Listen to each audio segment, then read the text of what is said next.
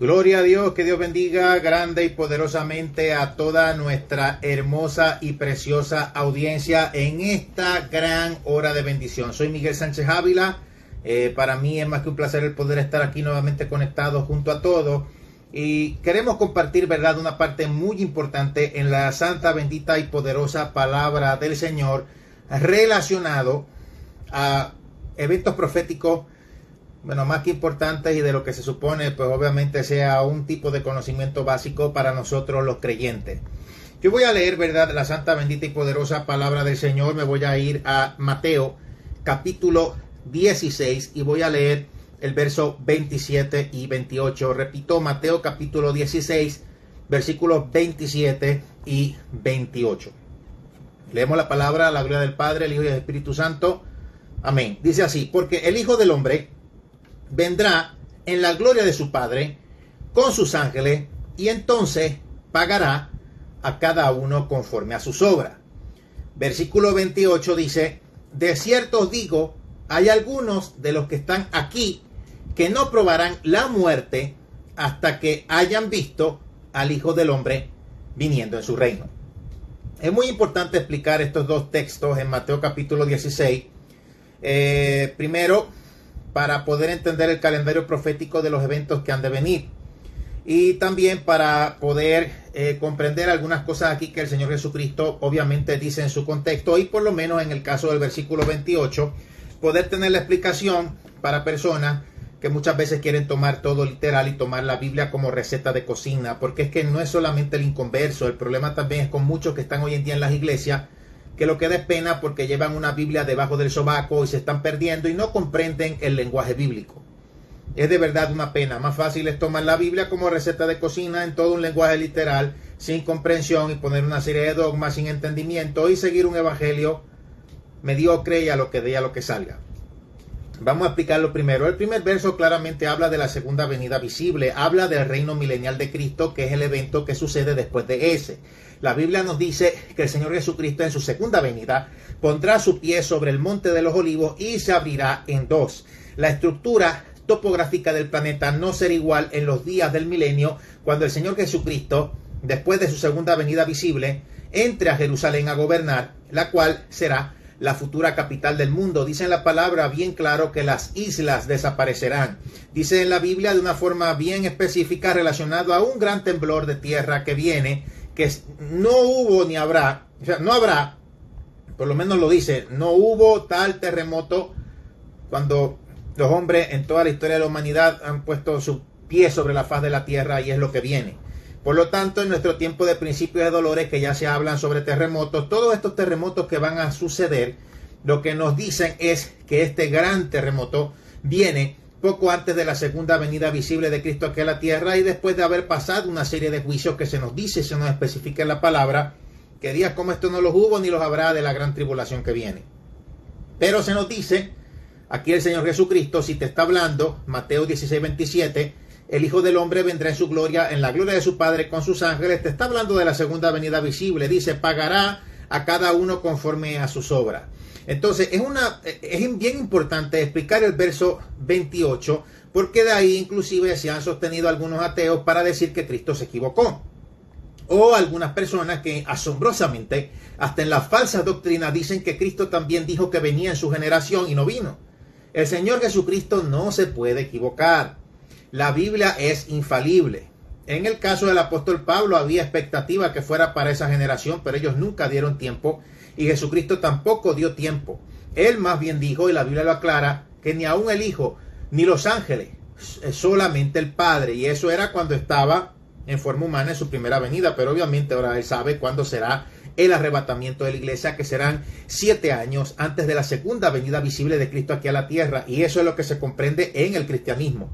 Porque esto de que va a haber un arrebatamiento después de la gran tribulación, mi hermano, bíblicamente esto está erróneo. La idea de un arrebatamiento es que se escape de la ira venidera, de la hora de la prueba que ha de venir sobre la tierra. Y es una de las palabras, o es una palabra a una de las iglesias de la provincia de Asia Menor en el caso del Apocalipsis, que de esas siete iglesias de la provincia de Asia Menor, aunque había muchas más en Asia Menor y alrededor del mundo, cuando Juan recibe la revelación, es un mensaje y es un prefigurativo de cómo sería todo el determinado tipo de iglesia que se iba a levantar en la era de la iglesia. La era de la iglesia termina en el arrebatamiento.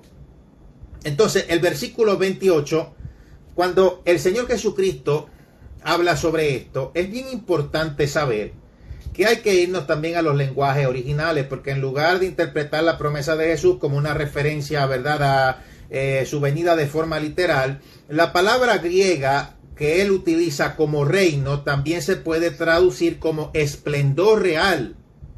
Y eso fue lo que pasó luego con el caso de la transfiguración.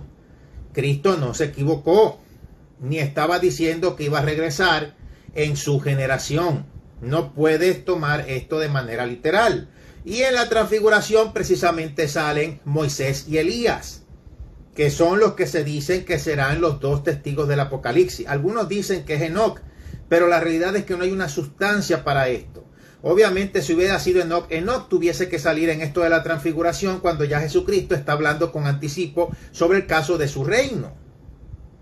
Entonces, no es que estaba diciendo que iba a venir para esa generación y está hablando del caso de la segunda venida visible. Entonces, yo quiero, ¿verdad?, aclarar esto. Es muy importante en el caso de la profecía bíblica para poder entender dos eventos. El tribunal de Cristo, el juicio del trono blanco y el juicio de las naciones.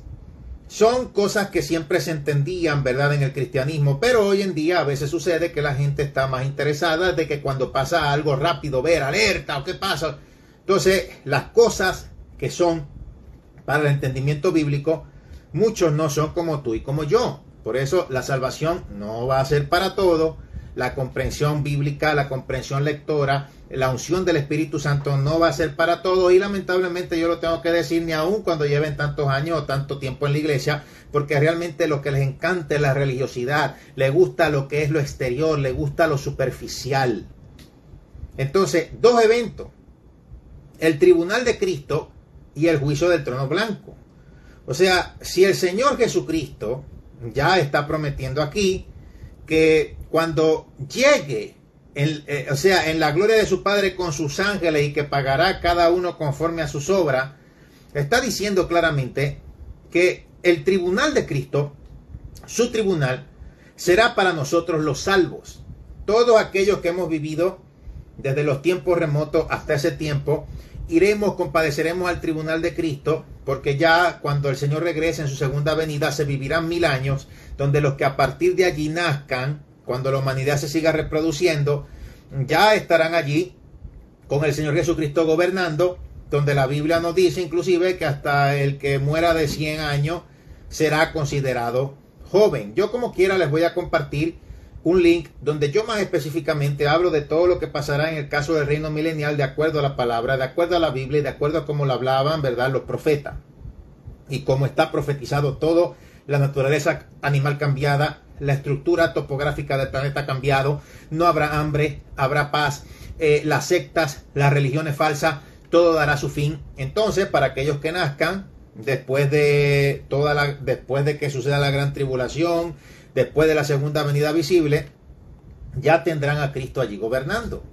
Entonces, este tribunal de Cristo va a ser para nosotros que antes de todos estos eventos, ya pues obviamente tenemos nuestro cuerpo de gloria, hemos sido salvos, etcétera. Pero vamos a leer más literalmente lo que nos dice verdad en el caso de la palabra. Por lo menos me voy a enfocar en el tribunal de Cristo porque el juicio del trono blanco, repito, el juicio del trono blanco será después de que Jesucristo gobierne en la tierra mil años. El juicio del trono blanco será cuando Jesucristo, o sea, después de que Jesucristo gobierne en la tierra mil años, donde se dice a final del Apocalipsis que Satanás será atado en una prisión hoy en día eh, que para él será temporal, que se llama el abismo. Bueno, primero vamos al juicio de las naciones, porque eso viene con la segunda venida visible también. Mateo capítulo 25, versículos 31 eh, eh, al 46 habla, ya leí parte, pero vamos a seguir leyendo. Y yo me voy a ir por aquí sobre el caso de... Sí, sí, Vamos a leer el versículo 31 en adelante, Mateo 25. Cuando el Hijo del Hombre venga en su gloria, segunda venida visible, y todos los santos ángeles con él, Entonces se sentará en eh, su trono de gloria y serán reunidas delante de él todas las naciones. Esto es después de los eventos de la gran tribulación y luego de la segunda venida visible. Dice, y apartará los unos de los otros como aparta el pastor las ovejas de los cabritos y pondrá las ovejas a su derecha y los cabritos a su izquierda.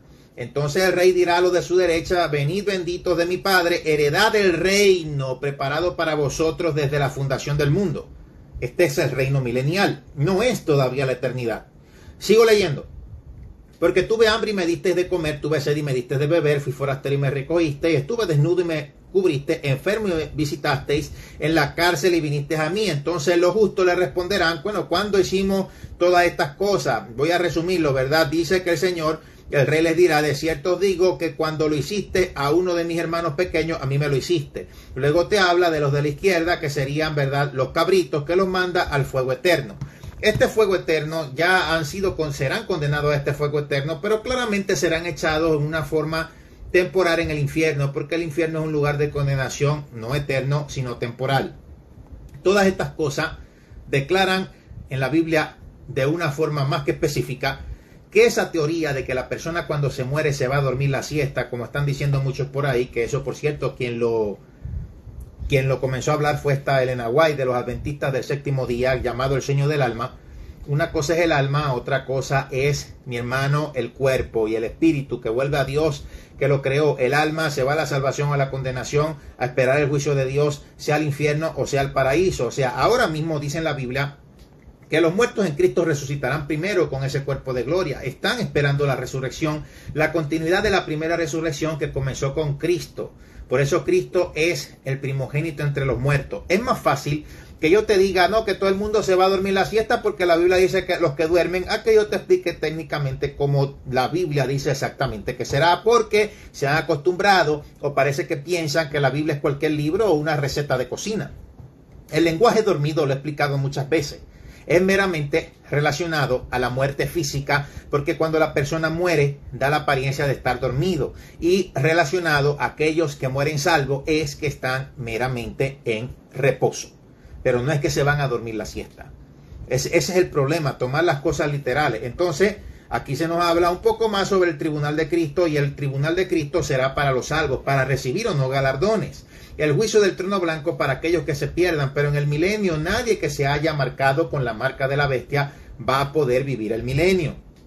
Solamente los sobrevivientes que no, que no, o sea, rechazaron la marca del anticristo. Y bueno, yo voy meramente a Primera de Corintios capítulo 3. Vamos a leer aquí. Primera de Corintios capítulo 3 y vamos a leer a ver qué es lo que se nos dice ¿verdad? Aquí en el caso de la palabra del Señor relacionado al tribunal de, Cristo. Vamos al versículo 11 en Primera de Corintios 3. Porque nadie puede poner otro fundamento que el que está puesto, el cual es Jesucristo. Mi hermano, la única religión que tiene nombres blasfemos para su líder es la institución católica romana. Santo Padre, vicario de Cristo, robándose literalmente el mismo puesto de Dios. Nadie puede poner otro fundamento, el cual es Cristo. No, la iglesia que Jesús fundó. La iglesia es todo aquel que acepta a Cristo como único Señor y Salvador personal que viene a ser parte del cuerpo de Cristo, es decir, la iglesia. No es una institución político-romana pagana. Voy a leer. Nadie puede poner otro fundamento que el que está puesto es cuál es Cristo. Y escúchala bien, si sobre ese fundamento alguno edificare oro, plata, piedras preciosas, madera, en hojarasca, la obra de cada uno se hará manifiesta porque el día la declarará, pues por el fuego será revelada y la obra de cada uno, cual sea el fuego, la probará. Si ponemos plata, oro, piedras preciosas en el fuego, lo que podemos ver claramente es que el fuego no los consume, solo se derriten. Entonces es aquello que hicimos desde el momento de aceptar a Cristo de corazón para el Señor de la manera correcta y no perderemos recompensa. Entonces, mira ahora lo que dice. Si permaneciere la obra de cada uno que sobreedificó, recibirá recompensa, lo que les dije. Si la obra de cada alguno se quemare, él sufrirá pérdida, si bien él mismo será salvo, claro, para los salvos el tribunal de Cristo, aunque así como por el fuego. Pero vamos a leer, ¿verdad? Un poco más arriba. Porque dice que si sobre este fundamento alguno edificare oro, plata, piedras preciosas y también añade madera, heno y hojarasca, si yo tiro la madera, el heno y la hojarasca en el fuego, se consume. Tipo de lo que en esta vida supuesta y alegadamente hiciste para Dios, pero sin ninguna sustancia. Por eso es que inclusive Dios bendice en esta vida y en la eternidad al dador alegre, no al que obligado le hacen dar. Entonces tú tienes que sembrar para esta vida y para la eternidad, hacer las cosas de corazón y hacer como en la palabra o en la Sagrada Escritura te dice, mi hermano, la gente no se imagina lo que viene. Yo he dicho esto varias veces y nuevamente lo voy a decir. Yo sentía, mi hermano, en el espíritu hablar sobre esto hoy. Eh, desde que Adán y Eva pecaron en el huerto del Edén, fue puesto un velo. Miren, nosotros como seres humanos claramente somos espiritual. Mi cuerpo, hay una criatura espiritual y hay una criatura eh, material porque Dios nos hizo de esa manera. O sea, podemos interactuar con lo espiritual y podemos interactuar con lo material. Entonces, somos creados de esa manera y lo que sucedió es que el pecado puso ese velo. No podemos ser una revelación continua de lo espiritual, pero podemos ver lo espiritual hasta donde Dios lo permita. Puede ser, lo he dicho muchas veces, ayuno, oración, retiro y a veces hasta ni tan siquiera eso. Podemos ver ángeles, puedes ver alguna manifestación demoníaca, puedes ver, en algunos de los casos, puedes ver al Señor Jesucristo como forma visible de Dios, puedes orar por una situación y Dios te puede mostrar qué pichón detrás está, de, bueno, detrás de bastidores, porque es una continua interacción. Aquello que sucede y afecta a la esfera física es porque ya hay un movimiento en la esfera espiritual y es continuo. Nosotros no somos un pedazo de carne andante, somos espiritual mi cuerpo. Lo que pasa es que ha sido puesto un velo, pero este velo se va a quitar y todos vamos a ver los conversos, los no conversos, los salvos, los no salvos. Y aquellos, mi hermano, que no han creído en esto, sí que van a estar asustados. Y ahora yo le di la razón y asústese. Porque imagínate tú de la nada, un normal, una vida, y de momento, ver un demonio, ver un ángel caído, no solamente sentir la esencia de la malicia que emiten, sino verlo. Ver los demonios. Yo los he visto en experiencia. Usted quizá los ha visto. Entonces, que ahora estén allí. El velo quitado. Será quitado. Será quitado. Y a Dios no lo puedes engañar. Eso no es que me voy a convertir última hora. Los de la generación de Noé trataron de hacer lo mismo y no le funcionó. Dios le cerró la puerta en la cara. Porque realmente lo que Dios quiere es arrepentimiento genuino. Y esa gente cuando vio que empezaron, empezó a llover, algo que no era normal en esa época, ellos no fueron porque estaban arrepentidos, sino porque se querían salvar el pellejo. Acuérdese lo que dice la Biblia, que había un vapor que acondicionaba, que subía del huerto. Lo mismo era para toda la tierra. Por eso no creían que llovía, no existía eso. Y después vino por causa del pecado, que se redujo considerablemente el tiempo de vida de las personas, de nosotros los humanos. 70, 80 se consideran los más fuertes, pero en esos tiempos eran hasta 800. Entonces Dios tuvo que hacer ciertas sanciones para cumplir su propósito cuando sea el tiempo y como quiera vamos a ser eternos, vamos a tener un cuerpo de gloria. Pero imagínate en esta vida un dictador que viva hasta 800 años, 900 años y el, y el mínimo hay que tuve 777 años. Imagínate tú. Entonces, ah, ahora vemos. Lo que Dios hace, mi hermano, no hay nadie más justo en el cielo, ni en la tierra, ni, ni debajo de la tierra que Dios. Entonces, Él hace las cosas siempre, ¿verdad? Por una razón. Y es bien importante entender esto, ese velo será quitado, el velo espiritual será quitado. Entonces, uy, ahí sí es verdad. Y tú los vas a ver, se van a acordar haciéndose los locos. No, no, si yo es que yo lo dramatizo porque sin antes estar ahí, ya yo sé cómo es la gente. No, no, no, señor. No, pero si tú me hubieras mandado a alguien en la otra vida a que me predicara, yo lo hubiera aceptado. No, no. Ay, ay, pero, señor, pero ¿cómo yo voy a hacer que tú me digas que yo soy un religioso legalista? Si tú me hubieras mandado a alguien específicamente para que me hablara y me lo dijera, yo me hubiera arrepentido y hubiera corregido, pero tú no me mandaste a nadie. Y ahí salen las grabaciones. Si te lo mandé. Mentiroso se va a acordar de mí, eso va a ser mi hermano lo de todo. Es como dice Jesucristo, muchos dirán en aquel día, muchos, él no dijo poco, dijo mucho y eso es lo alarmante. Señor, pero en tu nombre no echamos fuera demonios, no predicamos. Y él dijo, nunca os conocí hacedores de maldad, porque es que la promesa de Dios tiene que obrar.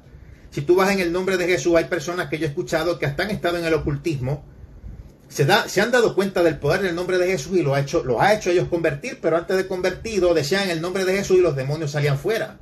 Eso no tiene que ver con tu trato con Dios, porque es que Dios no puede ser burlado, amigo, y métaselo en la cabeza. Y ese velo será quitado.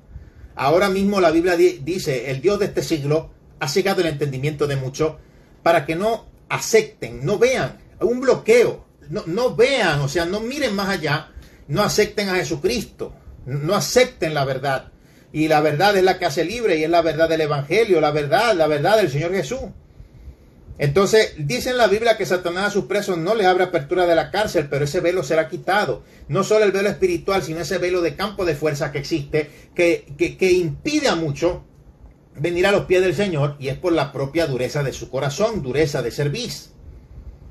Pero eso va a ser quitado. Y ahí sí es verdad que yo les voy a dar la razón de estar bien asustados, perderse para siempre y con esos seres, verlos por toda la eternidad y estarse cocinando. Mi hermano, de nada sirve la fama, por eso la Biblia lo dice, que te sirve ganar el mundo y perder tu alma. ¿Qué te sirve así ser alabado por los evangelocos religiosos y perder tu alma? Mejor es estar bien ante Dios que ante los hombres, ¿sabes? Porque ellos se manipulan. Estos religiosos, ellos dicen, no, que a ti te gusta decir lo que a la gente le gusta. No, si a mí me gustara predicar lo que a la gente le gusta, yo estuviera predicando estupideces de religiosidad que a ustedes les encanta a este tipo de personas, pero no les gusta, pues claro, entonces yo estoy del lado de Dios. O sea, yo no, yo, a mí me llamó Dios, no me llamó el hombre, esto hay que tenerlo claro. Es que siempre tratan de manipular, por lo menos conmigo no le funciona. Yo no sé a quién le funcione, con quién, pero conmigo no. Y es claro. Y ese velo, mi hermano, será quitado por su misma dureza de corazón. Están arrastrando una serie de cosas que en la vida que viene de verdad que ahí sí yo doy razón que hay que estar asustado por todas las cosas que se van a manifestar en esta, se van a manifestar en la humanidad y ni uno, ni uno se escapará. Y de ti depende, puedes compadecer ante el, ante el tribunal de Cristo, que esto viene de la palabra bema, que se llama tarima de observación, donde Dios diligentemente, tú una vez salvo, mira, mirará, ve, va, va a hacer valer todo lo que tú hiciste para Él para la gloria de Dios y para la causa del reino de los cielos desde el momento de haber aceptado a Cristo y ahí eso te contará para la eternidad, para recompensa. El, ya el caso del juicio del trono blanco será para probar la culpabilidad con libros abiertos porque estuvieron en el infierno en lugar de condenación temporal. Se abrirá el libro de la vida. Dice en la Biblia que además de ese libro hay otros. Otros libros fueron abiertos donde están escritas las cosas de los hombres. Y serán juzgados. Y también mi hermano, obviamente hay grabaciones de todo. Si apenas ha evolucionado la tecnología en la parte material, de hace cuánto no está evolucionada en la parte espiritual, donde a Dios no lo puedes engañar. Y es terrible. Las cosas que realmente vendrán. Es terrible. Y lamentablemente yo lo tengo que decir, hay muchos también que están en la iglesia, pero pocos son los que realmente están en la brecha. Amigo, la Biblia tiene un lenguaje literal, un lenguaje espiritual, un lenguaje profético, un lenguaje simbólico. En Latinoamérica se han acostumbrado muchos a que la Biblia es receta de cocina. Y la Biblia no toda es literal. Está el contexto histórico, está el principio espiritual. El contexto histórico siempre tendrá variantes. El principio espiritual es diferente. Entonces, mi hermano, a veces hay profecías que están cumplidas en la Biblia que tú lees cuando oras para que Dios te dé una determinada solución a un problema. Y aunque está su contexto histórico también, lo que pasó en esa época, lo que va a pasar, Dios te lleva ahí y te habla a ti personalmente. Por eso es palabra de Dios, pero a veces predican cosas que ni han entendido. No, la palabra de Dios. Pero quieren meter a Dios en cuatro paredes. Entonces, ¿cómo es? De verdad que es terrible. Y Dios quite de verdad la ceguera espiritual.